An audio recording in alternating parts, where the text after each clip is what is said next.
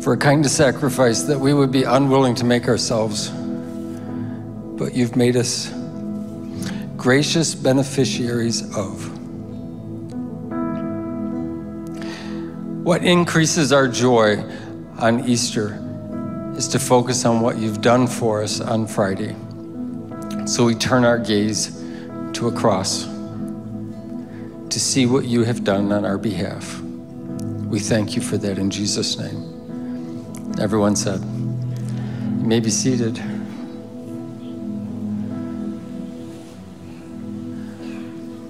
Just in case you're interested, there is child care available for children up to eight years old for tonight. So, Easter is the day that we love to celebrate. It's not just the promise of life because we have that right now. It's not just the promise of new life, though when a baby is born, we all celebrate that.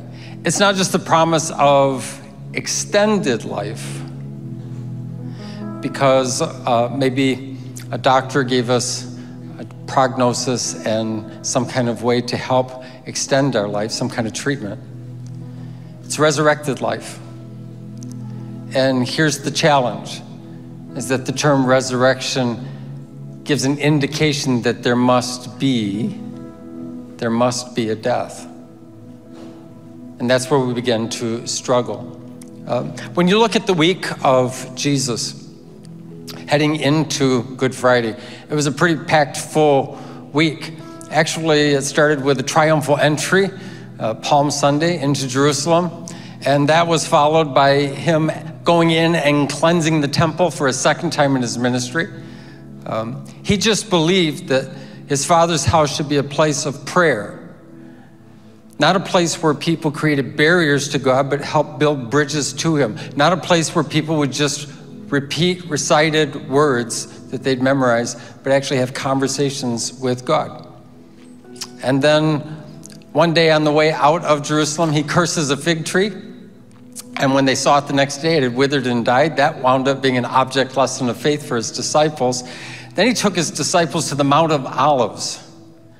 And uh, this is uh, really interesting. While they're sitting outside the city from the Mount of Olives, you can see the city and the temple. And he begins to give them warnings of things to come, foretelling some of the things that they will go through. He tells them that the beautiful temple that they can see from that location one day will be torn down and not one stone will be left upon another.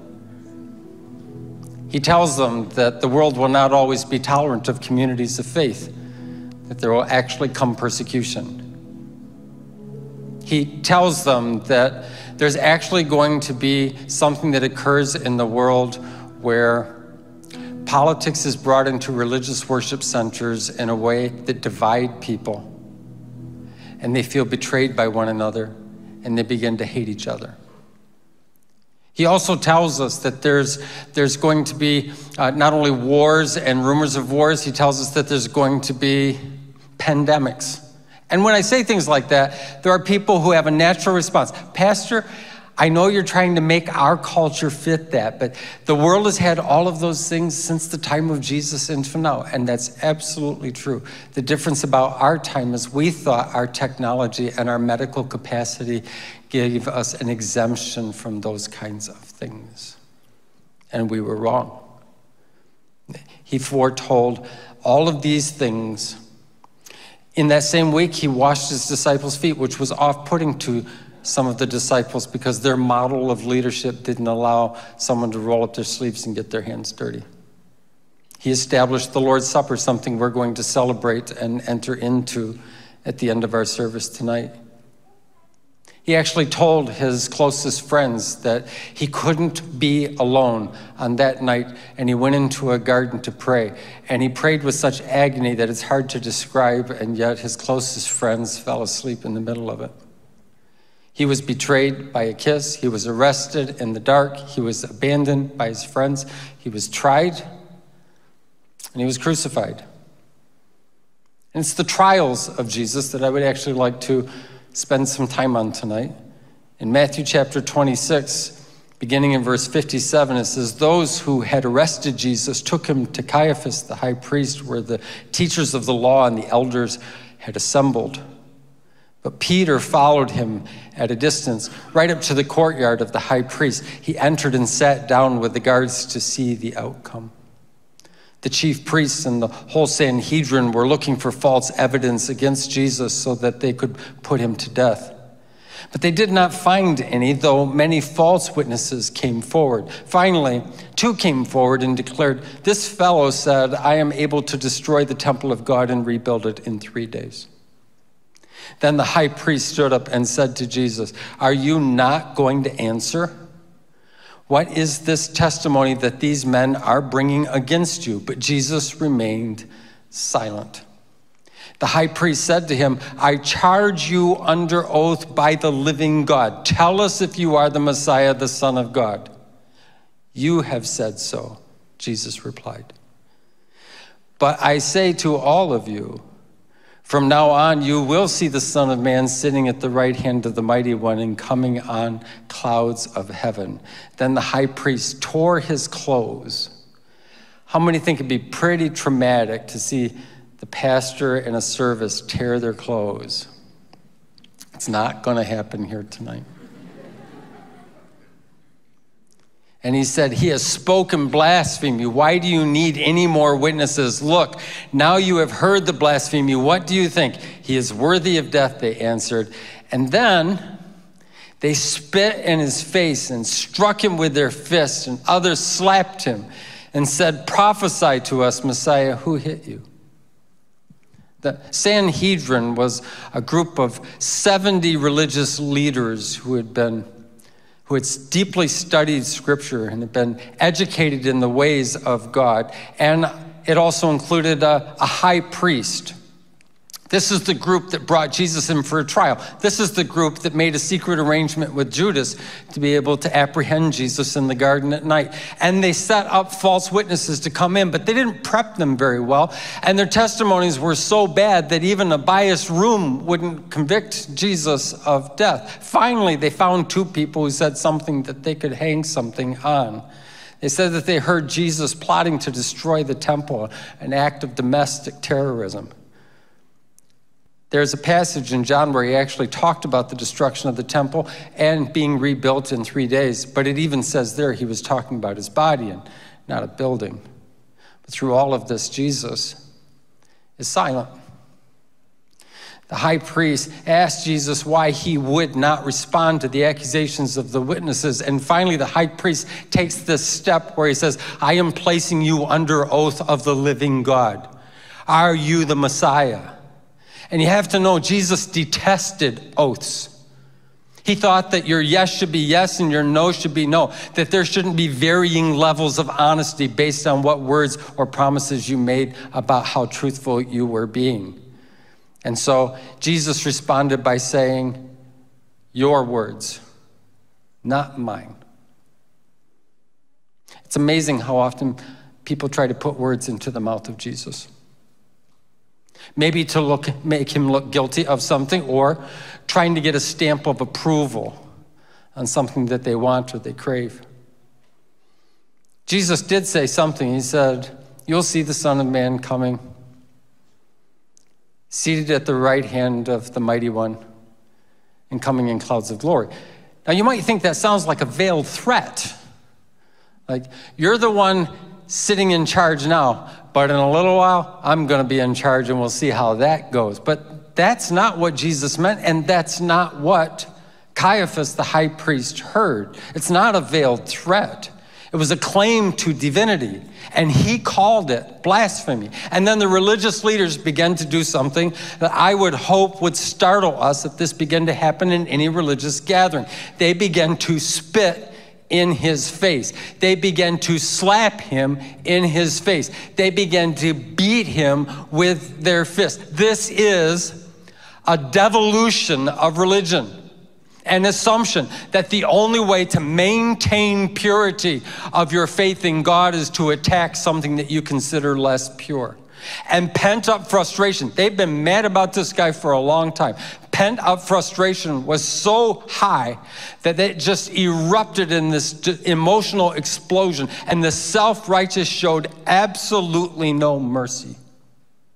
Before we get on too high of a horse, the self righteous today also show no mercy. Say, well, they don't spit and they don't hit and they don't slap. Check your social media. All in the name of purity. The disciples one time had asked Jesus to call fire down out of heaven and destroy a village that they had preached the gospel in and were rejected. Jesus told them they had no idea what spirit was driving them. It's the devolution of religion. We know from Luke's gospel that they had actually blindfolded Jesus at this point so he couldn't see the slaps coming. And they told him to prophesy. So, which one of us hit you? Religion at its worst punching, slapping, spitting, mocking. And for all of this, Jesus is silent. He won't use the spiritual knowledge that he has to exercise and hurt anyone in the room. And finally, no matter how angry and frustrated you are, eventually you get you do get tired, and they got weary from their own animosity, and so they turned Jesus over to Pilate. And we pick up that story in Matthew 27, beginning in verse 11. It says, Meanwhile, Jesus stood before the governor, and the governor asked him, Are you the king of the Jews? You have said so, Jesus replied.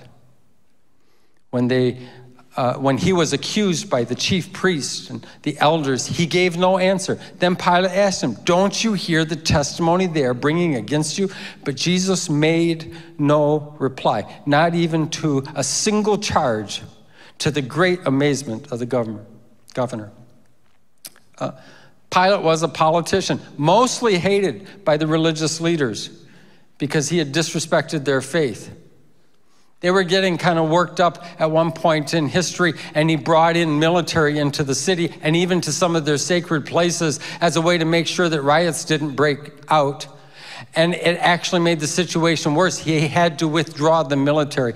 They, they had no love for this man, but they did find him useful in this trial. And don't miss the sarcasm of Pilate in the midst of all of this. Are you the king of the Jews? You? Jesus standing there with eyes that are now swollen and bruises on his face and lips that are bleeding. Pilate was not impressed by what he saw. He was not in awe. And Jesus responded the same way to Pilate that he had to the high priest Your words, not mine. Yes, political leaders try to put words in Jesus' mouth too. Sometimes they want to justify an action that they have taken, or maybe they want to demean a faith or the faithful. Accusation after accusation came against Jesus until Pilate interrupted. And he just says, Aren't you going to say anything in your defense? And Jesus remains silent. He simply wouldn't use his power to manipulate or to intimidate others. This is what most people call useless religion. If you can't get what you want and you can't control somebody else, what good is it? That's how lots of people think about religion. And so when they look at Jesus, they see him as powerless, but Jesus is not powerless. Jesus is actually redefining power in that moment. Power is not the ability to strike another person without fear of retaliation. Power is not the ability to manipulate or intimidate others for your benefit. Power is not the ability to take life. Jesus had power where he could actually give life. Power was not for him to make accusations, it was to actually forgive. Power that could absorb what was happening to him and not deter his mission by even a single step, by even a single syllable power that is completely undeterred. This kind of power is devastating to devolved religion into self protecting and self promoting politicians. They don't know what to do with it. Every single one of them had misused their power a thousand times before Jesus ever showed up in their courtroom. And Jesus doesn't make excuses and he doesn't make accusations, he's just silent. This kind of power has to be eliminated. So all that's left is the cross. Matthew 27, beginning in verse 27, then the governor's soldiers took Jesus into the praetorium and gathered the whole company of soldiers around him. They stripped him and put a scarlet robe on him and then twisted together a crown of thorns and set it on his head. They put a staff in his right hand and then they knelt in front of him and mocked him. Hail, King of the Jews, they said. They spit on him and they took the staff and they struck him on the head again and again. And after they had mocked him, they took off the robe and put his own clothes on him and they led him away to crucify him. Just more torture. A little more creative. He thinks he's a king, we'll give him a crown. That's not all. They would take a whip and whip his back until his flesh fell in shards away from his rib cage. And they weren't done then either. They would lay his agonized body down on a cross and they would drive nails into his hands and to his feet. Our world has a very secret belief that if you will take it, you must deserve it. If no one defends, defends you, you must deserve it. This didn't just go on for minutes, it was hours.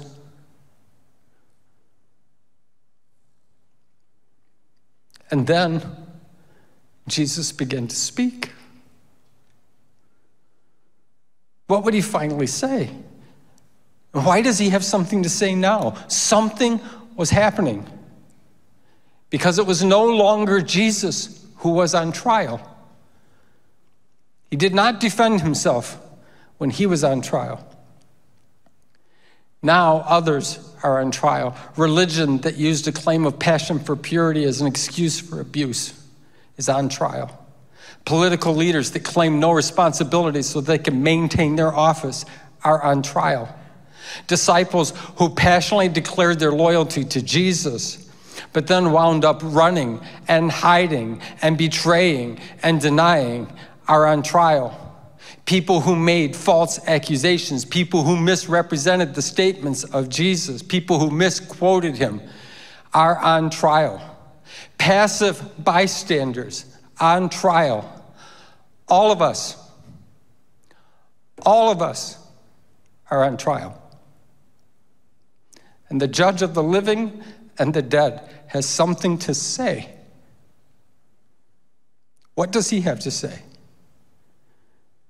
Luke 23, verse 34, Jesus said, Father, forgive them. They do not know what they are doing.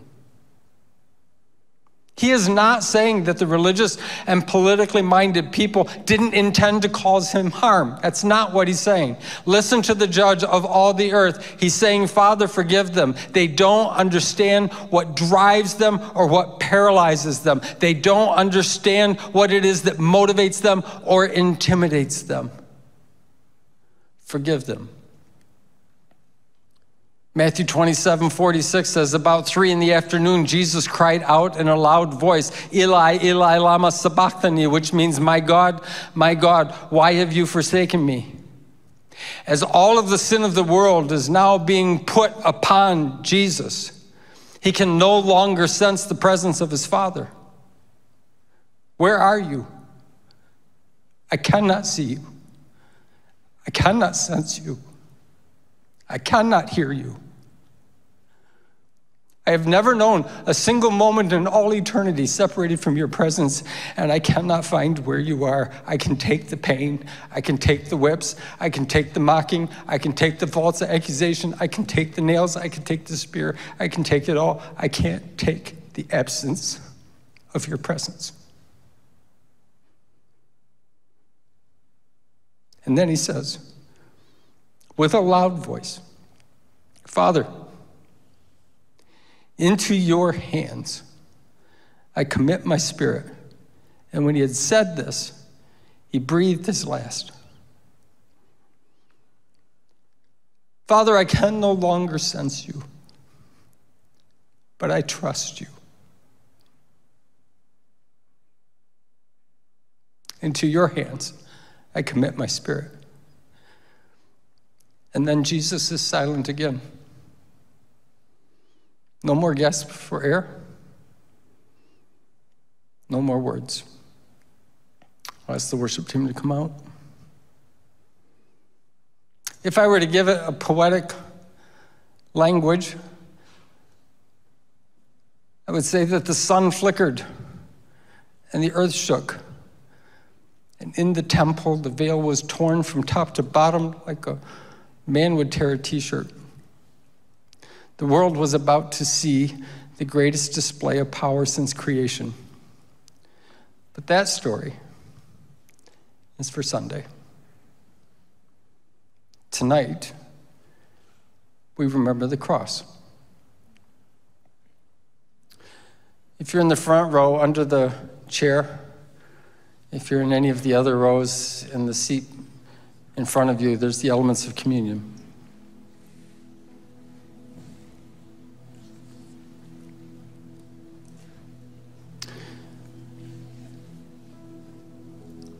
What does Jesus say? He didn't say we're not guilty. Oh, maybe you feel like you are not guilty. Maybe you feel like there's nothing you've really ever done that would warrant the wrath of God. Hmm? We're not so different from the people in this story.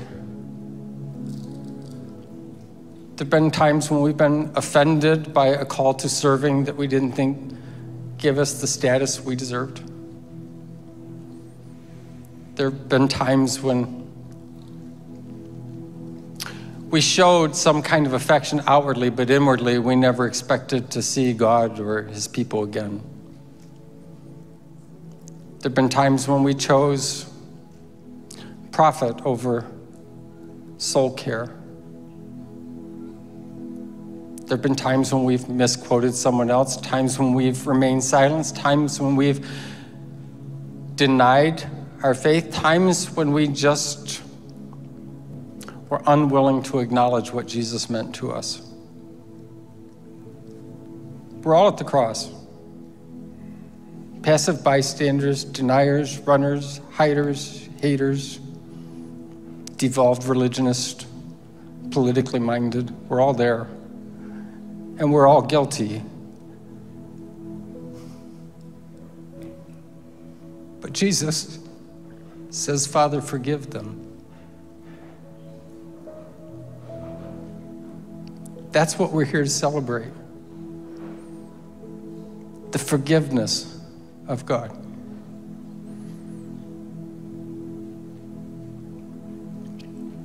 Jesus, when he gathered with his closest friends the night that he was going to be betrayed, gave them a warning. He told them, My body is about to be broken, but it's for you. And a promise is about to be broken too, but another one will be made. I will not leave you, I will not forsake you. And my blood will bring forgiveness to many. It is what we celebrate at the Lord's table. Father, we ask your blessing on the bread and on the cup, and as we partake of it, let us freshly hear your words that we are forgiven. In Jesus' name, amen. Let's all partake of the bread together.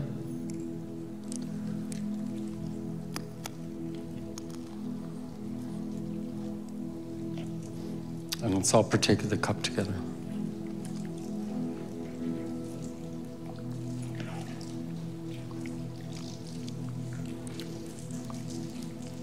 Holy Son of God, thank you for being silent in your trial and for lifting your voice in ours. In Jesus' name, amen.